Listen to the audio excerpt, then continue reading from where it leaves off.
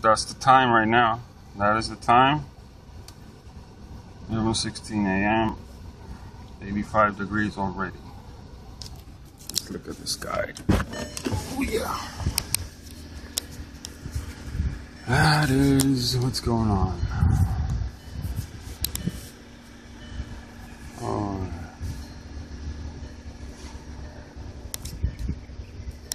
look at that. Oh, this is natural. It's beautiful, but I don't know. You know. That's west. That's north.